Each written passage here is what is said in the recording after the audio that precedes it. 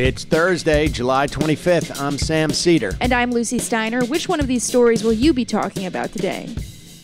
Amid mass protests, Puerto Rico's governor finally announces his resignation, admitting he can no longer credibly remain in power. Meanwhile, President Trump vetoes a bipartisan resolution to block arms sales to his good buddies in Saudi Arabia. Lastly, Nancy Pelosi denies the latest calls for Trump's impeachment following the testimony of special counsel Robert Mueller. You're listening to Majority.fm's AM Quickie, and these are the stories you need to know.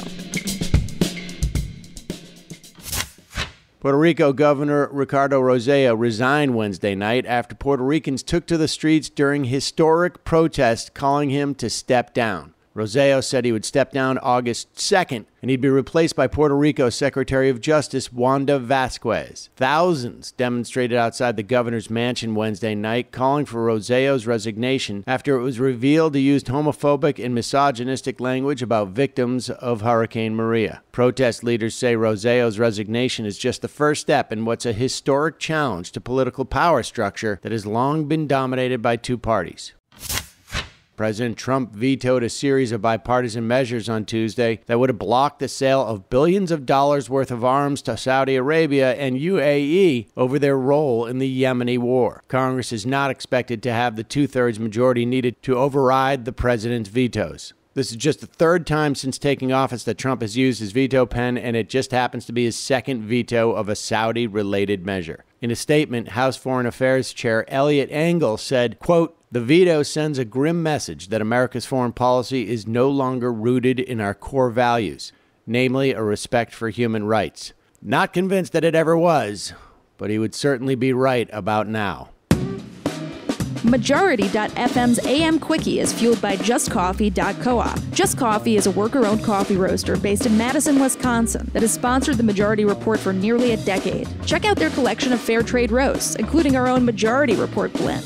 And regardless of what you order, receive 10% off your order when you use the code MAJORITY at checkout. And all shipping is free. That's coupon code MAJORITY at justcoffee.coop.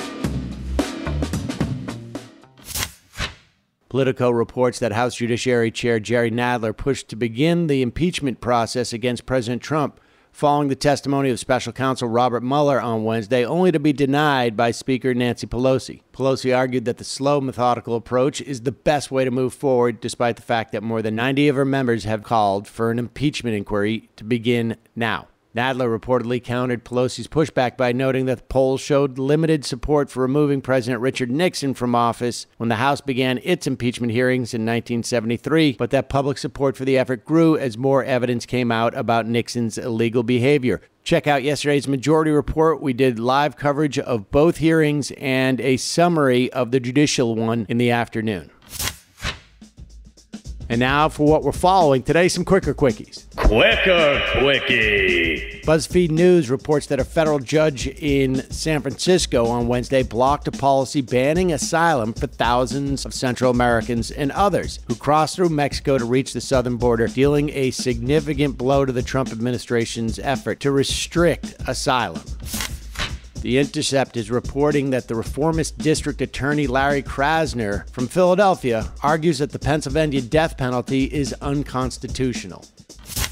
AP reports that a federal judge blocked new abortion restrictions in Arkansas minutes before they were set to take effect on Wednesday, including a measure that opponents say would likely force the state's only surgical abortion clinic to close.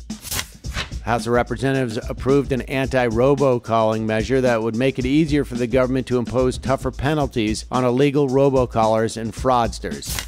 And the Dallas Morning News has a story today about Francisco Erwin Galicia, a Dallas born U.S. citizen who spent 23 days in the custody of the U.S. Border Protection in conditions that made him so desperate, he says he almost opted to self deport.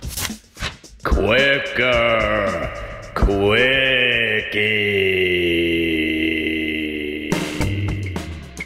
That's it, folks. Thanks for listening to Majority.fm's AM Quickie. Lucie? Thank you, Sam. Don't forget to check out the Majority Report today at noon, wherever your podcasts are found.